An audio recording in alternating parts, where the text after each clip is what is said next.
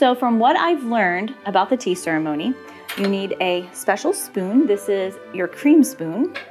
You need tweezers for your sugar. And you need a special kind of sugar, which is basically rock sugar. In German, it's Candice Zucker. You start with the sugar first. So you take your tweezers, you grab your rock sugar, and you put it in first. Next, you pour your tea. Now, there's many different ways to make your tea and many different kinds of tea. I got this Frisian gold tea at our local Edeka. All right, so I pour my tea in.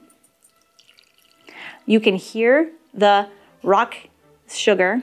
Already it's popping. It makes a nice little sound. Now we're going to pour in the cream. This is the special part because it's supposed to look like clouds, Wolken.